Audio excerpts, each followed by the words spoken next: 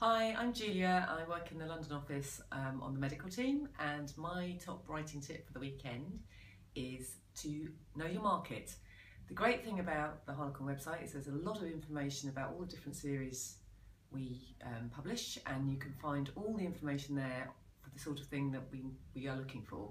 So it's really worth going there to find the information, and it's really worth reading and understanding what our readers are looking for, and you can save yourself an awful lot of time doing that.